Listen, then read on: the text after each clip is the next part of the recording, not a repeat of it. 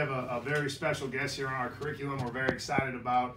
Uh, we're going to do a phone interview here with uh, a very good friend of mine, um, Jake Cox. Jake is currently an assistant um, football strength coach down at Baylor. Uh, he's been there for a year now. I don't want to steal too much of his story.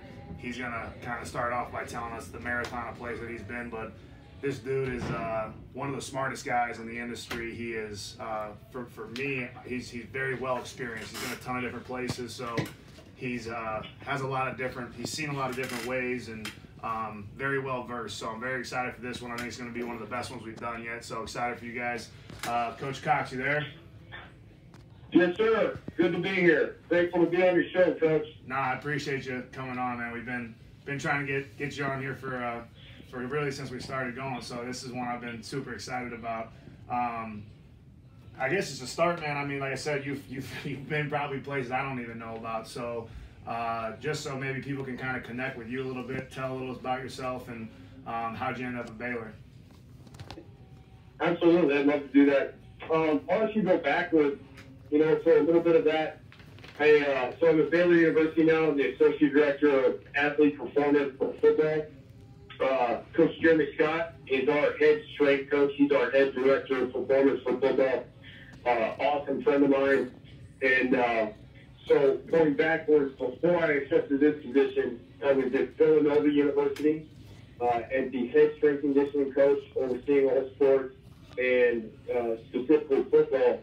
Uh, there was a fortunate opportunity where I got to build a Howie Long sports performance weight room, um, and you know two playoff appearances in three years, and you know, fortunately a couple of NFL draft picks and a couple of players who went on to play, and just phenomenal coaching staff to be a part of the way they recruit and the way they build young men and their character, along with the administration that was absolutely first class. Before that, I spent one year at Temple University, and that was with uh, Coach Matt Rhule and Coach Jeremy Scott, their very first year at Temple. Uh, prior to that, coming on that staff, I was at uh, University of Colorado for two years as director of sports nutrition and assistant football strength conditioning coach. Prior to that, I was actually uh, an Akron Zip for a brief time. I spent a year as uh, assistant strength conditioning coach there. It was my first full-time job out of grad school. And before that, I was at Stephen F. Austin State University in Nacogdoches, Texas for two years as a GA for Dan Eason. Uh, in between there, that summer, between those two years, I was an intern for Chris Doyle at uh, Iowa with their football program. And before I started that GA position, I did my one of my I did my third internship with uh, Baylor University. So long story short, about nine years later, I'm back here in Waco. Um, and before that, I'd interned Mid American Nazarene and NAIA school in Kansas City with Ricky Rodden and Tom Cross. Um, and before that, I was an intern at my alma mater, Kansas, uh, with Derek Hunter, and had the chance to learn from him and Chris Dawson. And I spent my playing days at Kansas with uh, Coach Chris Dawson uh, there. And before that, I'm originally from Iowa. So I, one of the luckier guys in this profession, just from the standpoint of if it hadn't been for football, if it hadn't been for the work ethic my parents and my, my high school coaches and uh, my junior college coach and my, my coaches at Kansas that instilled me, I wouldn't be here. And simply put, I, I probably had gone to some, nothing wrong with it, but I've probably gone to some two-year institution. Uh, and I'd probably be working in a factory, and right now I probably have three kids and getting small town, of nowhere. Uh, Iowa, which nothing wrong with that. Absolutely love that. Very respectful. But when you look at it in that perspective, you know, so many things and so many things in this profession fall into the right time, right place, with the right people, in the right situation. Uh, I've been very fortunate and blessed in this profession. Uh, it's not without its ups and downs, but there's certainly so many more ups than there are downs. So that's my, my background and, and going reverse order with it. Uh, so, next question. Yeah, no, that's a that's a freaking novel, man. That's what like I said. That's my favorite thing about Coach Cox is he is uh, he's well versed, man. He has been everywhere, so I love to pick his brain about everything. But um, all right, man. So I I always somehow manage on this show to get caught up in the house, which I mean is probably a good thing because it's way more important than the what's. but uh, I'm gonna try to stay on task here today with you, and and because you've been so many places, and because I love I love hearing you talk about programming. I'm gonna try to stick to the what's. Um, we'll try we'll try to go through that, but. Um, so obviously you've been to freaking 1,500 different places uh, and you've been in this industry for a long time. What what is your training philosophy? You know, what are your X's and your O's? Yeah, and, and one thing I'll instantly stand on the way, and I'll try to tell any young coach in this profession or any old coach in this profession is this: I've been in 11 years uh, as a coach, and I tell you what, every single year there's been quite a bit different than the year before. Not that there hasn't been quite a bit the same, but there's consistently differences year to year, staff to staff, facility to facility, manpower to manpower, and you know the work gets done. You know, you, I think um, you track. You're asking me more or less like kind of how I design things or my philosophy behind things, and I think it should be stated my philosophy based on some principles that really can adhere to how many other racks you have, how many other work um, paid interns, part-time interns, staffing, equipment, whatever you have, you can adapt to that situation. So I'll tell you, any any coach, there, you know, there's obviously the longer you're in it, you find out there's so many more ways to skin the cat and get the job done. That's that's for sure.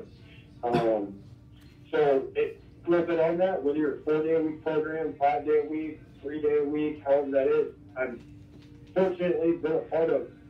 Know, when I was younger, maybe I didn't want to do certain things. Uh, but then you open up and you're like, you know, uh, I don't mind going this route in a squat progression as long as certain parameters are being taken care of. And I don't mind going this route with frequency of uh, squatting, pressing, pulling, hinging uh, being taken place. Uh, there, there's still principles that need to be adhered to and that develop your philosophy. And along the way, I just really like telling a lot of people these. I, I like people kind of think of my, it's the rules of coaching, I'm huge on. No matter what you're doing, number one, do no harm. So in a lot of respects, you know, one thing I learned, for example, I was at Villanova, we would recruit very well. And due to the numbers at an FCS school being 63 scholarships, and we want to get freshmen until July 1st. Well, when that's taking place, it's apparent two to five of those true freshmen are going to walk onto that field and play game one or game six on and finish the season potentially as a starter. I mean, they're going to contribute over 20 plays a game through that team. They're going to do that whether I'm the strength coach or not. Um, so do no harm. So whatever you're doing for that 30 days or 60 days before they get to camp, make sure that they're camp ready for their coaches, but it's going with the philosophy of do no harm.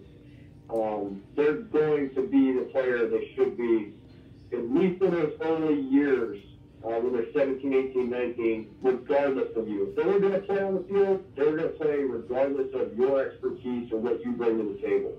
Uh, one, do no harm. Rule number two, all they see is all there is all they hear is all they know. And that's kind of something I broke up from the book Decisive by the Heath brothers, uh, slash Thinking Fast and Slow by Daniel Kahneman. Um, you know, a lot of this in our profession, understand you're going to wear a lot of hats. I do a lot of eccentric things or extrovert things that truthfully potentially aren't my personality. Uh, I have some introvert personalities um, that certainly have grown, but I, I do have quite a bit of extrovert in me, and it's knowing what hat to wear at the right time in right situation. I think that's a huge skill that you want to know to show coaches you can have a command over an entire team and you can have their buy-in of all the players, and you want to show the players that you've got the buy-in of the coaches and administration. Uh, do no harm. All they see is all there is. All they hear is all they know. Rule number three, more work, less time. Really come to understand that the athlete's entire goal uh, from any level, whether it's NAI, FCS, Power 5, Group of 5, it, it's, it's not their goal. It's just the human nature to do less and be lazy. And if we're people that instill structure and discipline into these individuals, which I hopefully we all are first and foremost, then we need to teach them to get more work done in less time. An athlete can do 90 minutes worth of work in three hours, they're going to take that 90 minutes to do that work for the three hours. But if we can get 90 minutes worth of work done in 60 minutes, then that's a goal that's accomplished. And so, some respects, a lot of them that goes towards building their general physical preparation and making sure that they have a disciplined attitude towards hustling from station to station. And some of that is kind of wearing the right hat, making sure they know things be done here a certain way, disciplined, organized, and structured. Uh, truthfully, a lot of your football coaches or any administrator, they'll come down, and I've always held this philosophy big, is that we want anybody, whether it's their parents, the athletic director, or sport coach, to think two things when they come down here. One, whatever these athletes are doing looks incredibly safe. And two, they are giving maximal effort. So they might not have respect for step-up progression, split squats, chin-ups, RDLs, cleans, snatches, but they respect organization, structure, and certainly never having injuries taking place in the weight room. And they they're saying respect and expect hustle and a fast work pace.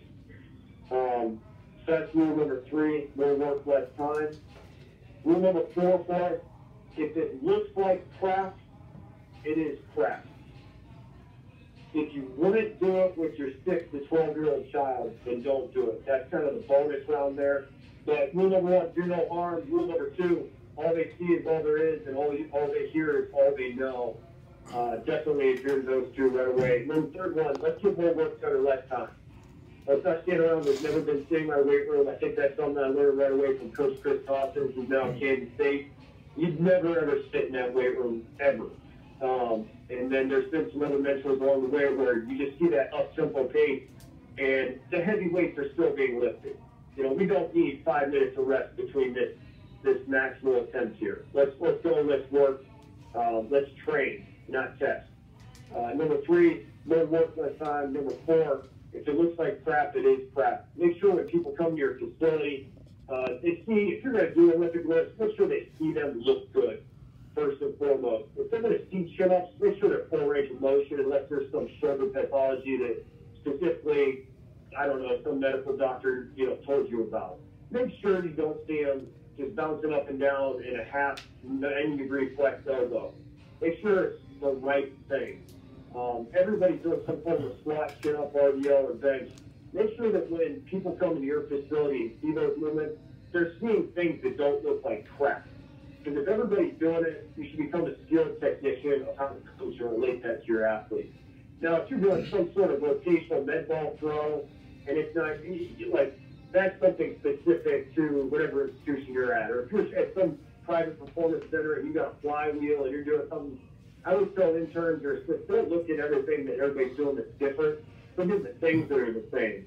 So do no harm. All they see is all there is. All they hear is all they know. No work, less time. It looks like crap. It is crap. The bonus with uh, principles about how to go about it is if you do it with your six to 12 year old child, then don't do it. And a big thing I try to give is don't don't overestimate your athletes. Don't be mean to them by thinking that their their level of Maslow's hierarchy is greater than a six-year-old, ten-year-old, eighteen-year-old. Oh, because there are 17 to 23-year-olds. With that, be respectful of the fact that if you gave them a frozen Snickers bar right now, you may light up with a big smile or a frozen uncrustable. they'd light up and been a great day. So understand the stresses that they're going through and understand so many of them did not come here to do a split squat progression. They came here to play ball. Right. So when you're doing things, keep them appropriate for what the athlete is doing and the athlete's training age. That does not mean they cannot progress to a chaos bench press with a fat bar or contrast over speed plyo jumps or whatever just need to be appropriate for their training age and respectful of your athlete and their mental state at the time. Yeah, just just as I expected. That's uh, that's incredible. It's great stuff. I want to go back to a couple things. Um, first off, number three, more work, less time. I think that's it's like one thing that we talk about as a no-brainer in this industry. Like, yeah, everybody wants to do it, but not everybody does it very well. And like that's one that's probably there's one thing I pride myself in in our weight room when you come in and look at it is it is absolute organized chaos. But the key word there is organized. And people say they want to have Mhm. they, they want to get more done in less time. If you really want to achieve that, dude, you have to be freaking organized to the T. And then on top of that, Mm-hmm. if you want to keep it safe because you're doing you're doing complex movements you have 12 things going on once you might be doing a tri set. like you have to be organized insanely to get that much stuff done um, it's why we, we we staff meet before we staff meet after every lift to make sure everybody knows exactly when this band needs to be switched and who's going to watch the uh, shoulder raises versus who's going to watch the rdls and you have to be extremely organized. So like people say it, but I don't think people understand it and, and what goes into that. Like that's not just a rule. That's like a that's a big one that everyone says, you know. But you have to be a great coach to be able to do that um, because of the organization of it. So I, I love that. Um, and then the rest, the, the rest time you talked about that that's uh it- it's funny because like my my staff i'm so i'm so yes or no or black and white about certain things that they always ask me well Sleeve how do you know how much rest time in between our heavy squat sets um, or our heavy bench? And i just tell them i'm like dude just look at the body language of your athletes. Like just because the nsca cscs says you have to rest five minutes in between maximal effort 90% sets it doesn't mean that you absolutely do that. If our guy some of our athletes if our guys are, are are sitting there staring at you waiting for you to blow the whistle to start the third set they're probably ready to do it um, and same goes the other way if it's if five minutes has come by and those dudes are freaking tongue on the ground and they look like they're dying well then maybe you should give them a little bit longer before you start that next set um, Absolutely. so I love I love that I love that as well. Um, that's freaking great stuff. Uh, so is that is that is that pretty much that sums up your very general guidelines? That's that's It- short and it- sweet, and I love it. It really has to. I mean, I can go into how I believe standing on your own two feet with the bar in your own two hands is better for the athlete. Um, you know, training in all three planes of motion, making sure you're vertical reaching, vertical pulling, uh, horizontal pressing, horizontal pulling, um, unilateral, single leg, hamstrings trained in the stretch position versus the contracted position. I can go into all of that, but truthfully, a lot of, I mean, I remember being at a facility where I had four power racks, no, uh, excuse me, eight power racks, um, good bars, good plates, and maybe six dumbbells and one glute ham raise. You know, but it, sometimes I've, I've been at facilities with 12 double-sided full cage racks, you know, eh, 16 trap bars, 16 Swiss bars, fat bars, yoke bars, bands, chains, you know, tons of space for med ball work, um, slide board work, battle ropes, you name it, like, it all changes, you know, and, uh, so those are really the rules. If I'm going to design something, I'm going to be very specific to the athlete, my knowledge base of their ring time on their body, to their injury history, the medical history from the trainers and doctors. I'm going to be something very focused on being conservative first and slow cooking the athlete and um, going that progression. And as I learn of their training age, I will progress them accordingly. Yeah. Um, so that's that's it. No, I, lo- I love the I love the principles. I mean, that's like I said. Most I, I tell like our interns when they're talking about a training philosophy. Tell me, de- describe to me the can, the, the can that the Pringles are in. Don't describe to me every single Pringle. That's not what I want to know when I ask you Yeah. training philosophy. I want to just describe the can. Don't describe the Pringles to me. Um, yeah. so Yeah. that, that to me that's perfect because in that in that same analogy, it don't matter what Pringles in that can. It's all gonna be if you're RDL and if you're benching, if you're squatting. Rule number one is gonna be don't harm the athlete. Rule number two is gonna be all they hear is all they see, and so on and so forth. So. I love I love that you just freaking rattled off principles. Uh, that's a, that's big. I'm, I'm big into that. Um, so I get this. The next one might be a freaking tough question because this is especially in our day. So I mean, obviously we're in the information age. Uh, getting information is not difficult now.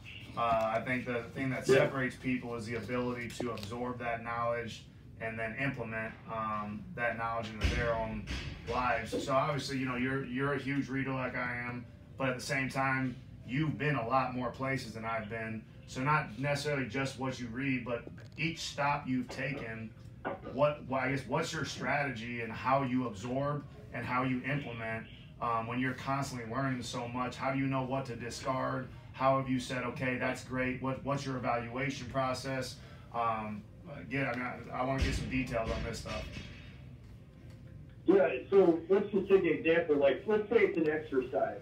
Let's say I go visit Kentucky or Arizona, and I see something, or I go visit a local high school here. Uh, especially being down in Texas, we see some great training being taking place in the high schools. Um, and I see something, I'm like, oh wow, gotta have it. That's awesome. Whether that's a machine, a training modality, or that's an exercise being taken place, or like a variation on a squat or a side plank or something. I'm like, oh, I've got to do it. Or let's say I'm looking at Twitter or Instagram and I see something. I'm like, why aren't I doing that? Um, I, actually stole this from Kent Manning. I to him one time, probably about seven years ago. He would not remember me just by the way, but that is a great man and a great person in our profession that I've seen a couple of times. He's just, he's absolutely elite. But he kind of gave me something like this for my young mind. And he, um, he said, when we see things like that, and I remember it was full of points, but I, I just remember a couple here. And, and what I do is I think to myself, have I done this myself? So point one, have I done this myself? And with that, if I have it, I'm going to go do that myself. Uh, in the second, has my staff um, done this? So let's say we're a staff of 10, we've got interns, assistants, nutrition, whatever. Have they done it? And so me being six foot four or 255 pounds, that's one take on this. But how about my coach who's 5'2 and 180 pounds versus my coach who's 6'4 and 330 pounds? So how do their bodies deal with this variation? And then we get that feedback. And then what we may do is uh, maybe it's a testing pool of just a couple of athletes and we get their feedback. And from there, you ask the final question of, would I do this with my own child? And I remember uh, Coach Manning he'd say, you know, have we done it ourselves?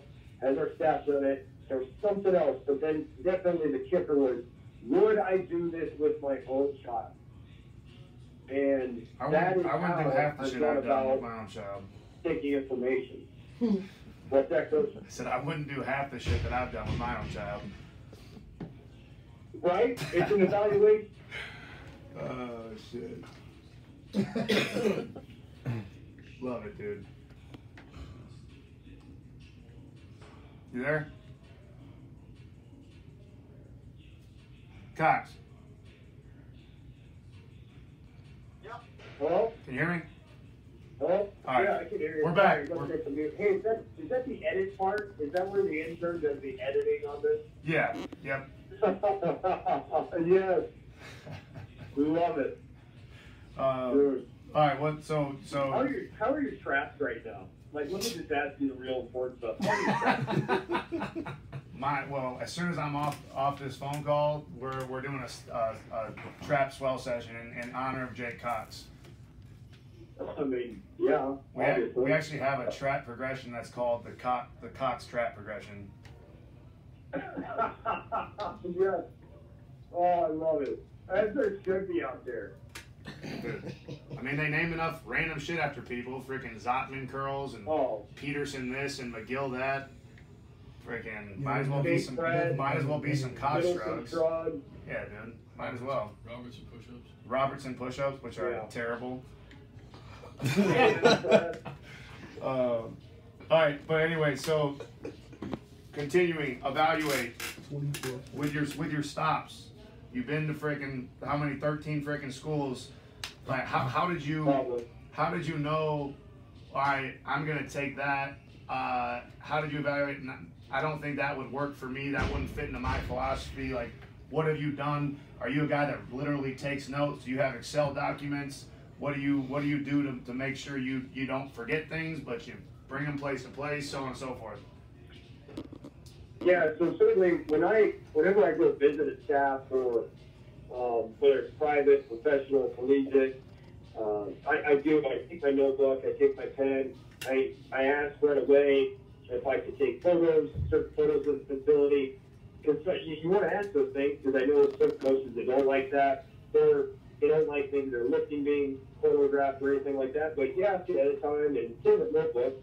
But then you always try to get a little time with those coaches and even the assistants, you know. I mean, a lot of times the assistants can really have a grasp on things in a different light that are big time you and allow you to see the light. Um, but I, I do, I take diligent notes, and then when I am done with them, I try to do kind of a word dump and just kind of lay it out either on Excel or, or a Word document, and then I'll label it uh, interview, Matt Gildersleeve, um, November 29th, 2017, and you know, just fortunately, like in a time like May or right before spring break or after spring break or during this time right now, whether it's bowl prep or no bowl prep, um, or stay in camp, I'll just open it up and reread it really quickly. And something new will come to potentially. And we're talking about like a three minute read. Right. And so it, it's just really helpful because a lot of what I see might not be good where I'm at with who I'm with when I'm there right now. But in a few months to 10 years, that could change. And that might have all of be, that's something that could be very valuable to me and my athletes. Absolutely. How do you, uh, how do you, what's your, I guess, deciding process on whether, you know, whether you're reading or whether you're at a conference? What are you thinking about when something kind of perks your interest? You're like, oh, that's interesting. Uh, what what do you go through to say, okay, that's gonna work for me or that's not gonna work for me? I'll, I'll be honest. Like sometimes I'll take, depending on the age of the individual, um, I'll go I'll go here. Like I'll be uh, respectful from it from the standpoint of saying I'm curious curious about whether an exercise or a, a speed drill technique or recovery modality. I would go ask the individual, and then depending upon what it is, like if it's an injury prevention thing or a recovery modality, I want somebody that has experience being injured. If it's lower back strengthening, I want you to have been screwed up. Like I want to read The Gift of Injury by Brian Carroll. I want to learn how to brace my core from Chris Duffin. People that have actually implemented Stuart McGill techniques and deadlifted a thousand pounds. I don't want to learn those techniques from people that don't have tracks. So that's the meathead side of it. The second point is, do I trust you? And how, how do I trust people right away? I trust people when I meet you. Do you look like you should look like? Do you look like you're, if you're a speed coach, do you look like you're fat? If you're a, if you're a performance coach, can you jump, sprint, deaccelerate, bench, squat? Can you do these things with at least what we would consider right to play numbers and speed? Like, you have the right to play to give an opinion in this position? Now, if you're 60 beyond or 60 beyond, I don't, you know, I don't want to judge you, but obviously, when I'm taking lessons from somebody who's 60 or 70 about, let's say, clean technique or box shot, then you just are more open-minded. You look at their background and track record, and you don't have to take maybe such a broad first impression meathead approach to it. Um, and then when you get to know the person, their background, you can really dispute whether or not this is something you want to take to your staff, um, and then take to your athletes from there. So that that's really how I do it. Um, Just- I, I ask myself, is this person, what they're talking about, have the right to play in this circle, in this space? Or do they have a weighted opinion high enough for me to care what they're saying? Because if it's just flashy and neat, but this person's not accomplished anything, whether themselves as an individual or as a coach, I- it's something I'll still write down, but I can't tell you it's going to be something I'm eager to, to get after and implement. Very good. No, I love it. Um, all right, so can I can I brag about you for a minute, Coach Cox? Is that okay? I love I love every bit of the way you're you're going to take this conversation. You just go right ahead. Okay. Um, so for everybody who doesn't know, Coach Cox is a he's a financial he's pretty much a financial meathead, and his pockets are on creatine. Okay. Um, so he he took over my my retirement account just as far as where I invest my retirements, my retirement funding back in May. So it's been seven, eight months, and I, my, my return rate was nine nine. It's now seventeen seven.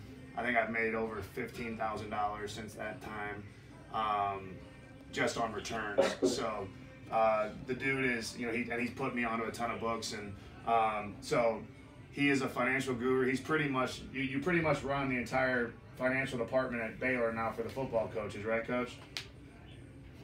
I've been fortunate enough that I've been able to talk to probably I'd say 17 of our staff members. Um, not necessarily our position coaches in season; they're definitely working, but it's really been awesome to talk about finances with some of our uh, uh, support staff, some of our other strength and conditioning coaches, some of our, uh, you know, just other staff members go around, and, and truthfully, even some of our athletes too. Yep. Um, we talk about wearing a lot of hats, and the art of communication and persuasion are so huge.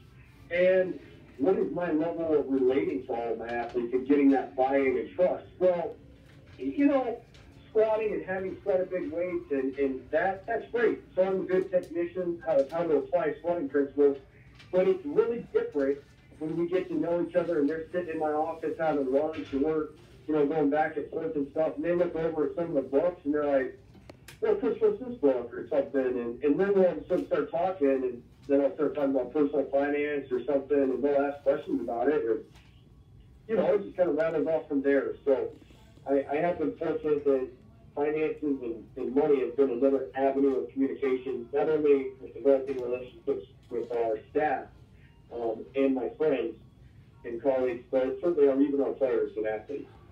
No, I mean, see, moral story, he's, he's, he's very good at this stuff. But I, I talk to my staff, even, you know, our interns that, that don't make money, um, because I know there's things that I wish I could have done uh, a little differently when I was an intern, or maybe um, I was all, I've always been great at saving money, but necessarily putting it in the right places or looking for the right things, which is really what I've done differently in probably the past year. So those things, if I would have known when I was a young age. So we talk about these things all the time, and I know this isn't strength and conditioning, um, but I think this is beneficial, especially for coaches to hear because I meet so many old broke coaches that had made millions Yeah. of dollars, and it makes no sense to me. Um, so, especially with how volatile our industry is, you know, this might not be a typical curriculum uh, topic, but I want to, if you're if you're down to talk about it, I want to go through some financial stuff.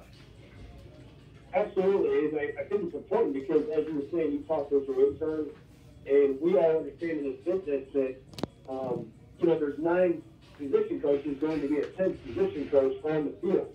Well, if you coach two tackles, you can get a job at DN. You could potentially be the tight ends coach, or you can be the running back. You know, there's certain, there's better avenues almost of latching on and staying maybe at a certain lifestyle income or, or, or certain um, employment status versus there's only one head strength coach.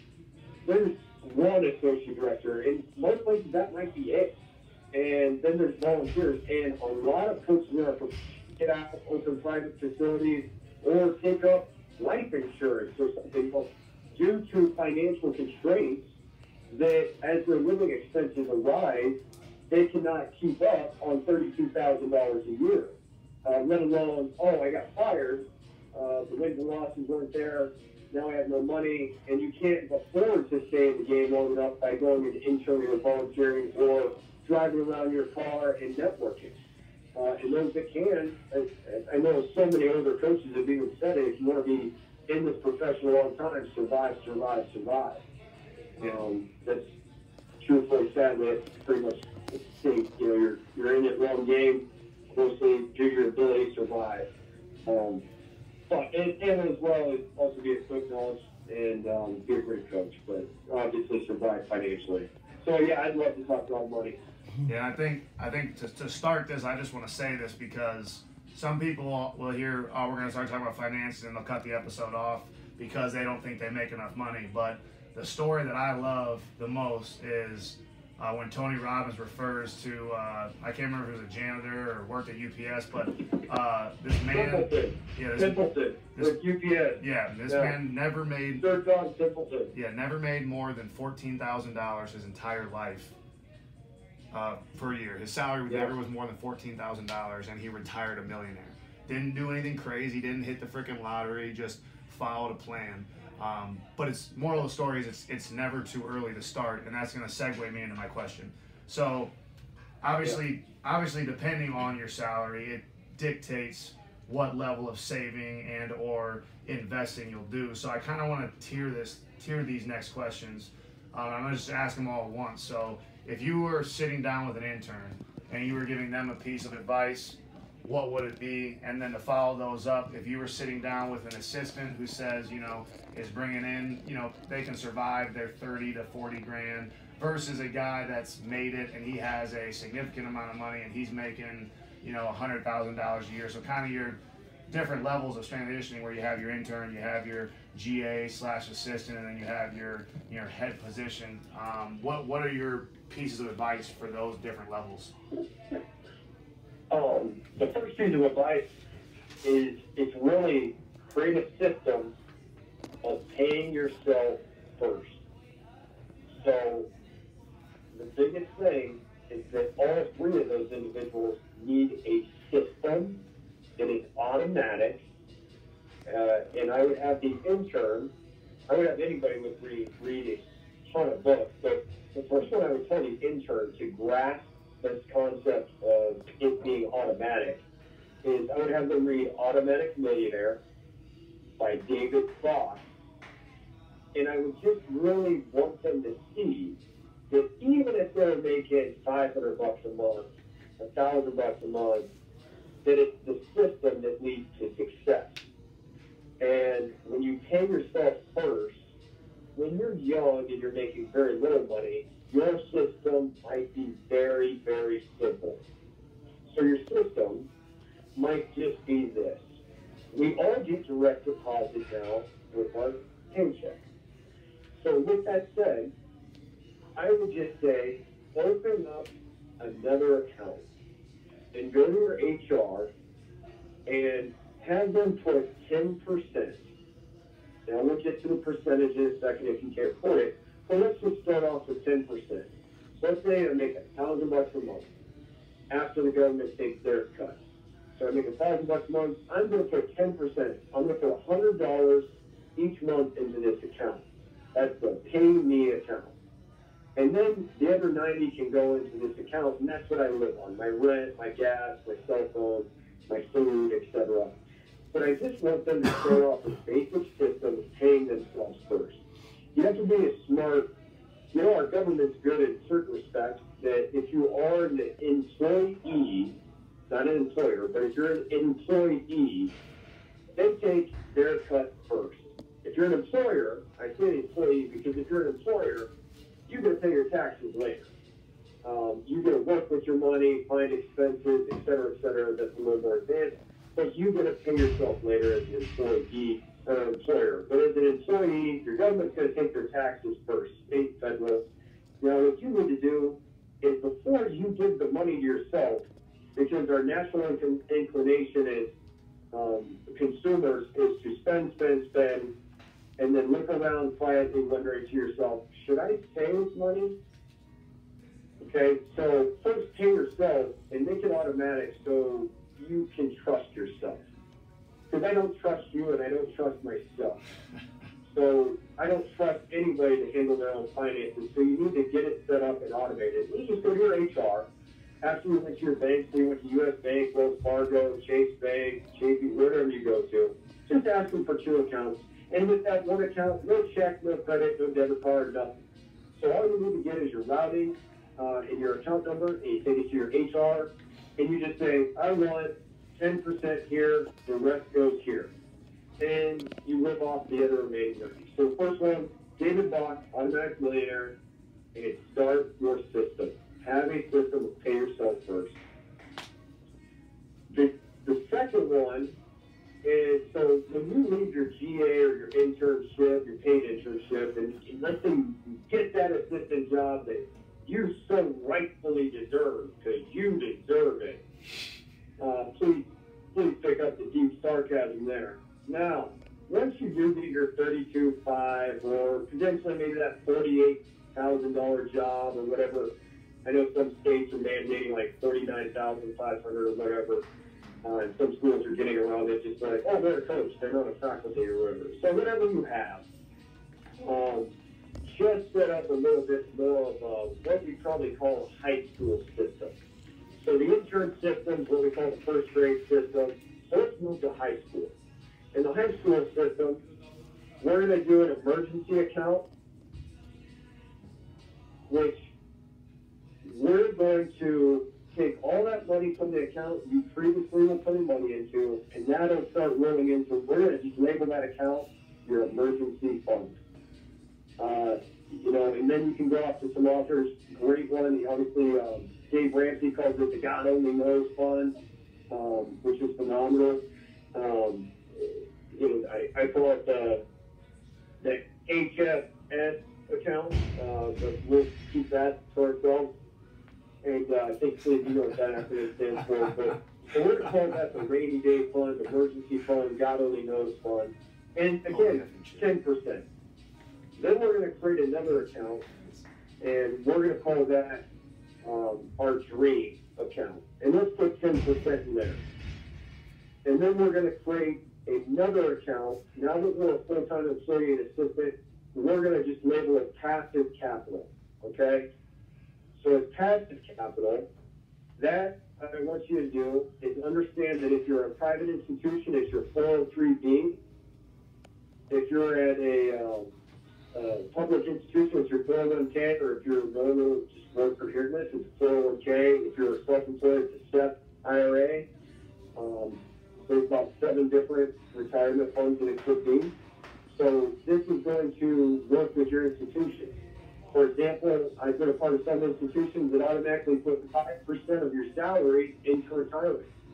Um, and then if you put another 5 in, they'll, they'll match that. So you could be up to 15% of your salary going into this one account, and you'd have only put in 5%. So we're going to label it passive because you can kind of be lazy and get away with this. So passive capital. So, so far, we have an emergency account with 10%, a dream account um, for 10%, and we have a passive capital for 10%.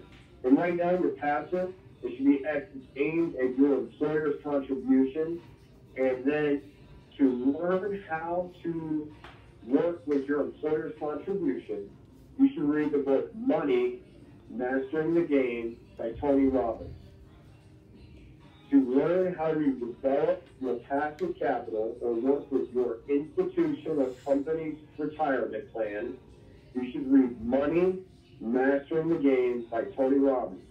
And the biggest things to look at, look at asset allocation, look at cost basis or expense ratio of fees, and look at um, your your uh, your risk reward and over time, and look at the duration those funds have been in play.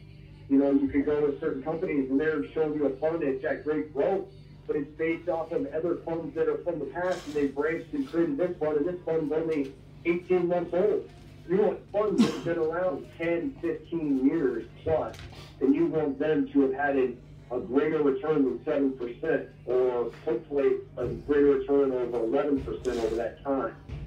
Uh, and then you want to have, again, the appropriate asset allocation. Most of that can be explained in that book. Uh, now you have your emergency fund, and let's talk about that. So we talked about passive capital, get the book, learn about that. Your emergency fund, if you want reading material on really developing this, please go ahead and get something uh, akin to the Total Money Makeover or Financial Peace University from Dave Ramsey. That's going to help you with your emergency fund and really understanding how to utilize that. Uh, I'll just tell you how I go about building emergency funds for people. Step one, thousand dollars cash in your hand, cash, ten Benjamins, twenty grand, get them in your hand and put it right by your bedside. Because it's really nice to smell and see and look at every once in a while. And if the washer and dryer break, it's right there. If the car transmission breaks, you're going to need a little more than that, but at least you're on your way. If if you know, the kids need new shoes or whatever, hey, you got it. You know, it really helps limit a lot of stress. And I also say the cash factor because I think too many people go on plastic too often with credit cards and they lose the emotional attachment to seeing cash. Um, credit card companies are actually giving discounts now and something up towards of $10,000 to small businesses if they will do away with cash transactions um, and, and they're reducing their fees on their credit card transactions if they will do that. Uh, that's got to tell you something when you read it through the things. That's got to enlighten you to something. You can't be blind. You can't be a sheep. You must understand they're doing it for a reason. It's called make more money. So get familiar with cash. Read the Financial Peace University book by Dave Ramsey. Read his Total Money Makeover. That's going to help you understand those, that real big importance for emergency funds. So number one for me, thousand bucks cash in your hand by your bank statement. Number two, three to six months of expenses placed in a basic account inside of your bank. No checkbook, no credit card book. You actually got to go down to the bank and get it. Three to six months of your life expenses: gas, transportation, car payment, rent or mortgage, electric, sewer, water. Um, those are your general expenses. Food. Those need to be taken care of for at least three. I really preach six months at a minimum. Uh, that's part B. So part one, thousand dollars cash. Part B, three six months expenses in a money market account in your bank. No credit card, no checking book to it, and all. You got to go to the bank and get that money. Part C. This will take a little while, but seven to 18 months of expenses. Seven to 18 months of your monthly expenses. So that you could get fired and not freak out. So that if you didn't have some reoccurring five or three year rollover contract deal, which I don't think anybody but maybe 15 coaches in our profession have, then you can be fine. Your family can be fine. The food can be on the table. The bills can be paid so seven to 18 months though, take that, open up a brokerage account with Vanguard, or potentially whoever you like, but when you get to reading some things, you'll understand more about why maybe I would switch TIAA Express or Vanguard. But it can be Schwab, it can be T. Rowe Price, it whoever. Um, but open it up and distribute that. And for instance, like um, my favorite would be the long term bond index fund from Vanguard.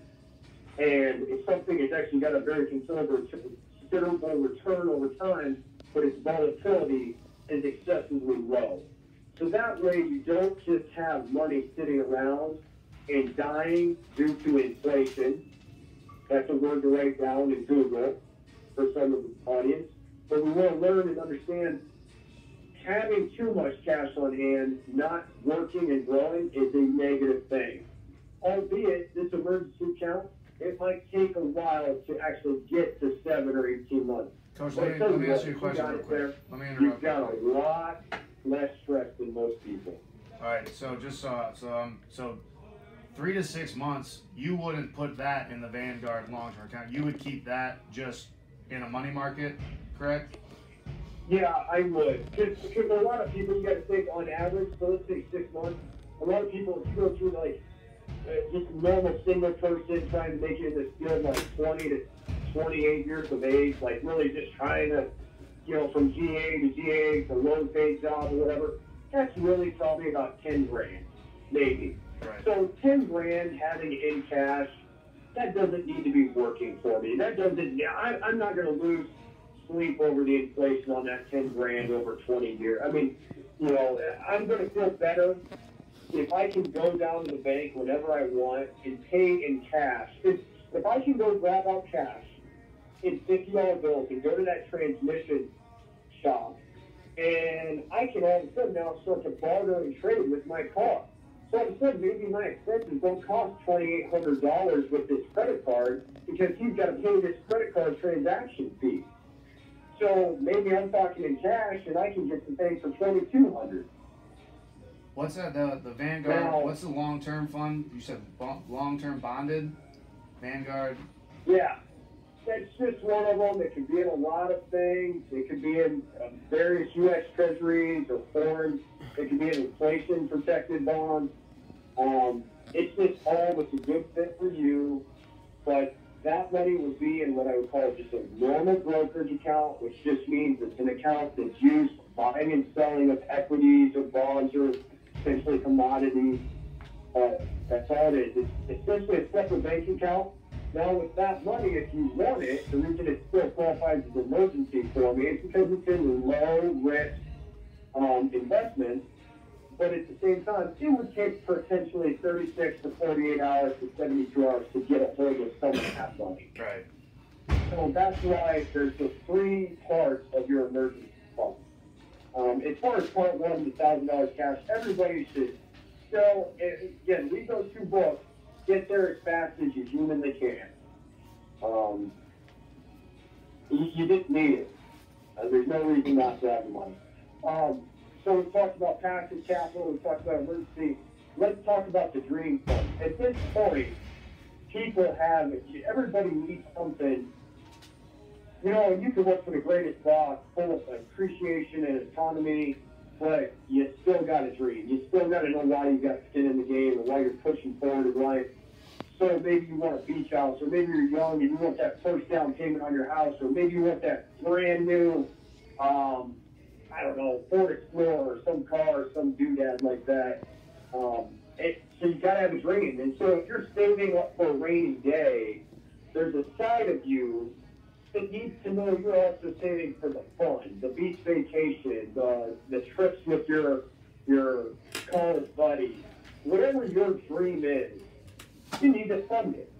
So let's put 10% to that. And if you really want to really understand the why behind that, it's so much more read Harv T. Eker's book, The Millionaire Mindset.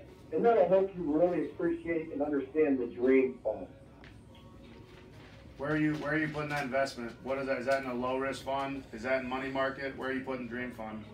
I and that might depend on how much that is. Like, you know, sadly, my wife and I, like some of that, we, you know, we keep it just in another money market account because let's say we had a dream of buy some, buy some other passive and buy some other property or something, and we want it quicker. Well, you're dreaming, yeah, because I mean, you're you're dreaming now. Some people are investing in for dreams for in ten years. So I guess you want to go through the difference of that. Like if you're if you have a dream fund that's for like, hey, I want to have a I want to buy a house in a year versus, uh, hey, I want to buy an island in ten years. What's the difference in where yeah. you're going to put your dream fund?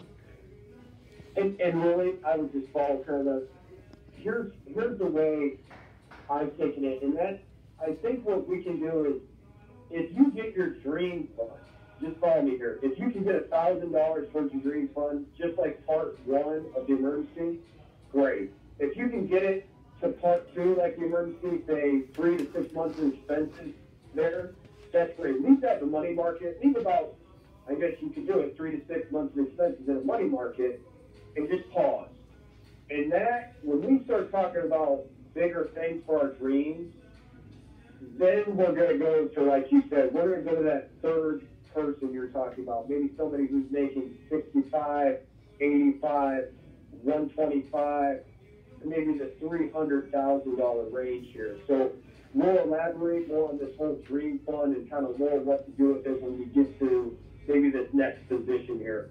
But again, for somebody making 32 to fifty-five thousand, I think you're fine just put your dream fund into a separate account. It could be your personal account. It could be something like, hey, my wife has hers, I have mine. So when I want to go out with the boys, that's where my money comes from. When she wants to, you know, to go shopping, that's where her money comes from. So that account, depending on the level, it, it you want to keep it as simple as possible for the person making twenty to sixty thousand. Love it. Um, shall we go ahead to the, the third person we're talking about here? Coach, I'm on the freaking edge of my seat, and I cannot wait ah. for you to tell me about the third okay. guy. now we, we've kind of got to just touch back on level ones and emergency. Because as you're at this level, um, you would be, it, it would be sad let's let's take our our profession and as you hit on so many coaches who you know aspire to great heights but then don't have it. It would be sad to get up higher, and then you know due to the nature of the profession, if it's high reward with 50 to 100 plus thousand people screaming on your game day, you're not at a cubicle. It's also very high risk. So if you don't like the cubicle life or, or nothing wrong with that, and you like the high risk gambling life that is this, and you made it, it would be very sad to see you write this down. Increase living expenses. I'm not saying you can't enjoy a little bit more of a cushion. You know, maybe you're a health freak and all of a sudden now you're buying your higher quality supplements or food or, you know, maybe you upgrade the car a little bit. I'm just saying if you don't understand that there's a bad day coming ahead for you, then we call that not dealing in those. Um, period. Right. Because regardless, I, I think the longest tenured coach is now like uh, Kirk Ferentz or Gary Patterson. You know, that, that's got to tell you something. Right. Uh, period. You know, I, I've been a part of programs that they've gone, come and gone in, in a very short amount of time. And, and I think you got to be knowledgeable of that, especially as you go up. So, and it's nice to see all of a sudden more money going into the direct deposit. It's also wise to maybe uh, allocate expenses a little bit better. So let's really that emergency. And again, it's the exact same thing. Part one, cash. Part two, money market. Three to six months. Part three, you got to have seven to 18 months in a basic brokerage and very low risk funds. Yes. Okay? So just That's to, just to reiterate reiterate that point. Now, Sorry. and now we're going to circle back to B, our passive capital. So I want to talk about passive capital. And again, remember I hit on your institution's contribution to me. So we've got to maximize that out. But again, if you read the book Money, Mastering the Game by Tony Robbins, and then his now other book, Unshakable, which is a good compliment after you read Money, Mastering the Game, Oh yeah. then you understand about how to work this passive capital or 4 to be or 401k better. And you'll understand how to allocate your equities, bonds, uh, and your portfolio better and look at your expense ratios better. And when you do that, understand now that you're at this higher position, you've got the income to max that out. So potentially when I was an assistant, maybe I was only putting in five hundred a month of my salary just to get my full contribution. Well, the government now allows you next year uh, to put in eighteen thousand five hundred dollars.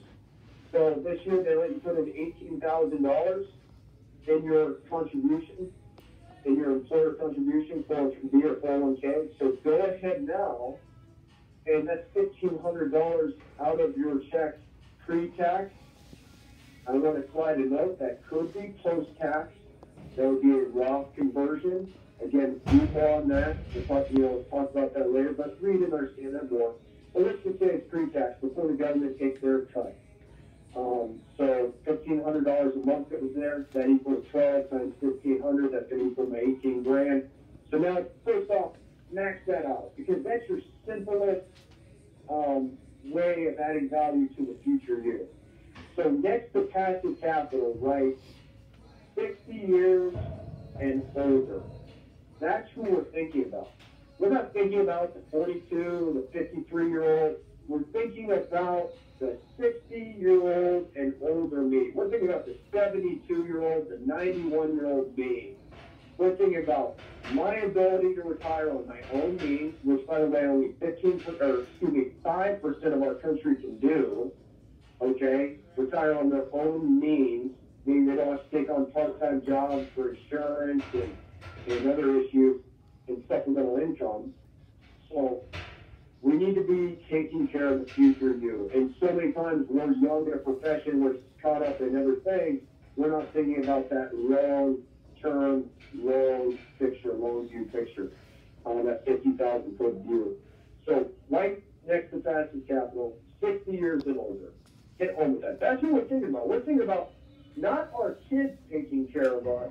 Thinking about us having the ability to live on our ranch in Montana or wherever you want, or our beach home in North Carolina, and still fly and go see our kids in Kentucky or Utah whenever we want. We're thinking about buying the organic apples instead of having to be frugal and getting applesauce in a carton with holder, however you look at it. We're looking at maintaining a great quality of life for the 60, 100 year old youth. Okay, moving down, we're going to now start looking at what we call passive capital. Or excuse me, check, check, active capital. So part three here, this next part, as we've got this money coming in, we're looking at active capital. And what I want you to note next to active capital is we're thinking about the 59 on down you. So if I'm, let's say, 30 years old, I want to get to a place where I don't need the income of my institution, my employer, or my performance center, or my client. I don't need the income of that to still do what I love. So if I can go volunteer at a D2 school, and I can still maintain my quality of life on my active capital, then more power to you. That those are the coaches, those are the, the business people who are doing what they love, not because they need the monetary compensation, but because they love it. And that's powerful. Those people do what's right more often than not. They speak up when it's appropriate. They're there to fight for their athletes and fight for their universities and programs more often than the people who unfortunately can't due to monetary um, hardships. So a, emergency fund, B, passive capital, we're thinking about the 60 to 100 year old us. And C, active capital, we're thinking about how to get between whatever age I am to 59 and, and be able to retire and have all my expenses paid by my by my uh, active capital adventures. Um, examples of active capital that could be land, that could be farmland, that could be real estate, that could be logging timber, that could be um, maybe when Redbox was big, you bought a few of those. You know, Redbox would have been something you would have actively gone out and sought and purchased those, and then that became a passive form of income, but you actively were engaged in trying to create a profit. So that's why you have to be active in pursuing this. You have to study other fields. You have to know certain things or certain people. You can do joint ventures, but you've got to be setting aside money that you will push towards bringing you more money in the future, a good return on investment in a short number of years, and then from there on out, produce you a income, a monthly income that pays for your expenses.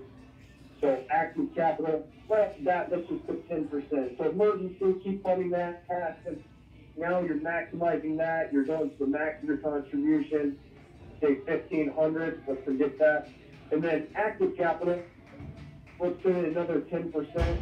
And now D, I want you to write down dreams. Okay? And again, we talked about our, when we were an assistant. Now that we're older, now that we're bigger and we're making better income, let's still keep our dreams alive, but let's be understanding that they may have changed. Usually when I do this, I'll describe how to get your dreams. So you can continue to set aside your 10%. Let's pretend we do that. And then I go around the room and I go, what are your dreams? And I'll hear jet skis, I'll hear RVs, I'll hear beach house, I'll hear um, new hunting rifle, I'll home gym, I'll uh, whatever, I'll hear dreams, you know, traveling, backpacking across the world. Uh, hear these dreams. And what I do is I write all those down, and then right next to it I write first grade. And then somebody will say something like, what's your dream? I'll say, I'm glad you asked. And then right below it, I'll put PhD. And I'll say, and I'll just do this. I'll draw a line from my dreams and I'll point it right at my active capital. Because now if I can take the money I'm setting aside for my dreams and I can add it on top of my active capital, I'm going to get there faster. I'm going to buy income properties or income avenues that are going to pay for my jet. I think having a jet ski is awesome. Having a jet boat, having a, a hunting tree stand or whatever. I just, I, I think having a brand new, uh, fully loaded pickup every two years is an awesome thing. I just want to have something that pays for that. So if I can take my PhD level dream and I can add the money I'm setting aside for my dreams and for my fund and all that, and I can drive it towards my active capital so that I get bigger down payments on things, I can get my dreams with no worries. And they're only going to continue. If I have a home that produces a thousand dollars a month extra passive capital after the mortgage is paid, then that's a thousand dollars worth more a month things I can buy. Then I can buy all my doodads, jet boats, new lawnmower, whatever you want. But that's the difference.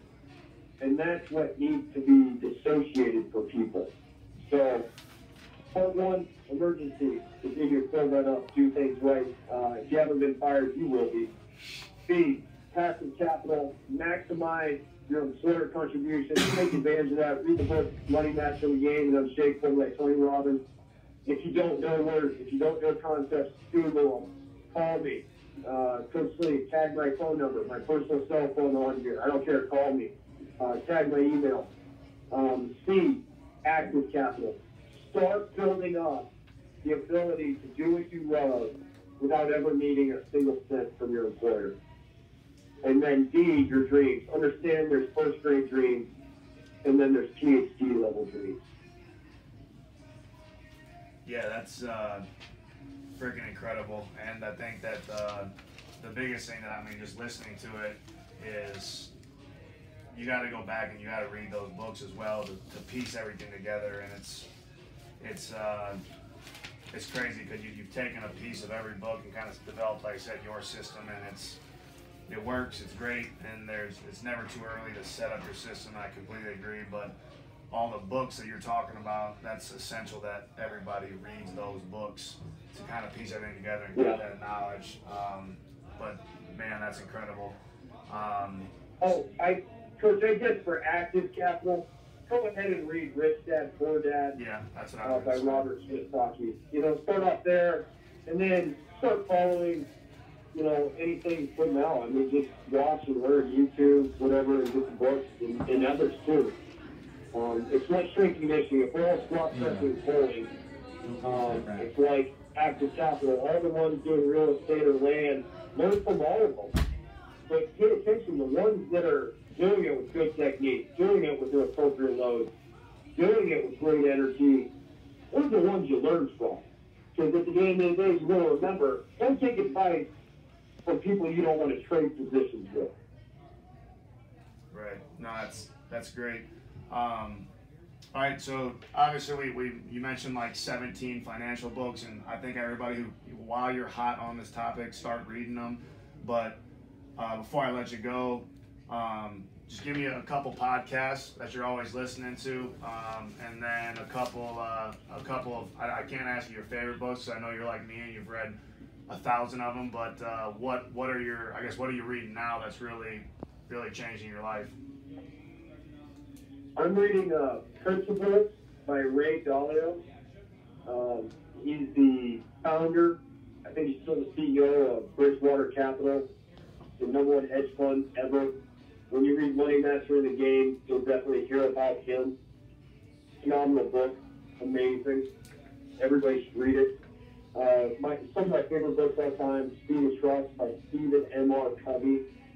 Um, I was fortunate to read that when I was at Iowa. Coach uh, uh, Doris Pacific, Coach Brandon Braithwaite told me that was one of his favorite books, and it absolutely has been one of mine. I, I tend to read that probably every 12, at least once a year. Also a fan of John Maxwell, the 15 Invaluable Laws of Growth. I'm a fan of The Slight Edge by Jeff Olson. I think you would be very, it, it would be very sad for somebody to have not read Think and Grow Rich by Napoleon Hill. I'm not saying you have to adhere to all of it. I'm just saying it's something most people need in their lives at one point or another.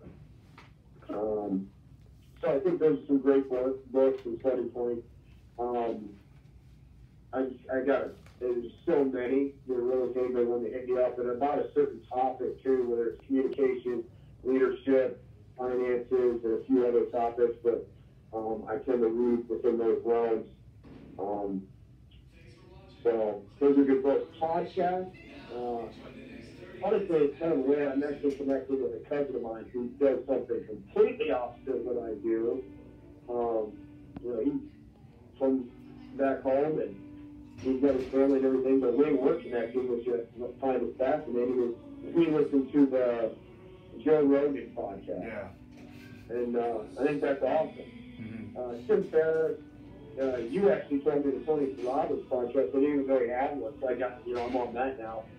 Um, Stacking Benjamins is a good financial one. I think uh, the Kabuki Strength chat is decent. I should be better at listening to it. I think The Order of Man is a good one. I think Optimal Finance Daily is nice. Uh, the Art of Manliness is a good one. Um, Tim Ferriss, obviously phenomenal. And then let me look at the. I like Joe DeFranco. Um, I think The Art of Charm is a good one. Uh, you know, Mark Bell's Power Cast, Barbell Shrugs, uh, you know, probably have all of them here. So I've really, this year I've actually put off, I've read less and listened more podcasts due to time and, you know, I always got the phone on me, so, um, so I probably slowed down, probably just do a book a week, book every 10 days now, so, um, really enjoyed the podcast. I like the, I, more so than the Jocko podcast, I really like Jocko's YouTube. Yeah. Um, I just want to recommend everybody go just Google Jocko Good. It's just one of my favorite all time. Shout out to Thomas Long and Mark March, uh, who introduced me to that probably a year ago. And that's just fun to watch. I think that helps keep everybody in perspective. And the last bit, kind of on this system of money, start now. Don't tell me about, oh, I can't do 10%. Here's the thing. It's not the percentage, it's the system. If you need to do 1% in this second account, do 1%. But then when you start it, it's the starting thing. And all of a sudden, makes you look at it after three months, you're like, I can do 3%. And you're doing it, and you're like, wow, money's going in there. You're like, I can do 10. So you get to 10, you gotta start. And that's what right now, our percentages are all different. We don't really put too much away in what's an emergency. Um, you know, I'm sure we have a different system personally, and the allocations were a little bit different, so the percentages change over time. Start now. And if you don't, you'll be where you, you'll be in the same spot you were right now, 10 years from now. The best time to plant a tree is 20 years ago. The second best time to plant a tree is today. Take some action. I love it. That's uh, that's probably the best place that we could possibly end this podcast, uh, or I guess it's a YouTube video. But you know what? You deserve your own podcast, Coach. Uh, just unbelievable, dude. So uh, I really appreciate you coming on, dude. And um, I got like six pages of notes right here in front of me, which I think is the most I've ever taken. So um, great stuff. And uh, you made the curriculum better. You got Curriculum Nation will appreciate everything that you've you've given us. I will definitely tag your email and uh, so they can get a hold of you with um, any of this stuff. And uh, yeah, man, keep on freaking doing traps. Obviously, we'll be in touch. We talk like every day. So, but I appreciate you coming Hey. on, man. Hey, and I, I gotta say thank you, thank you to your staff, uh, past and present, um, and thank you to your listeners because I'm so humbled by your comments. I'm so humbled by the ability to have a presence and be here with you, and, and whether it's presenting high school coaches or clinics and stuff, I'm just so grateful for this opportunity. I'm truly a guy who gets to do what he loves regardless of income. And, and with that, income is comes.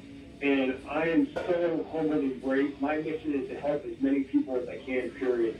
From the time I have my last breath. So if there's anybody, anytime I can help in any area, any topic, that's what I'm about. That's what I want to do. I'm just been fortunate. This, this is my, my avenue to do that. And I can't express how grateful I am to be part of this opportunity. And um, uh, hopefully there's more shows in the future. Uh, as far as the podcast, man, I, I leave that like like. I just steal from better people than me. So when I talk training or anything like that, you know, it's just like you and I always do. We just take away bits and pieces.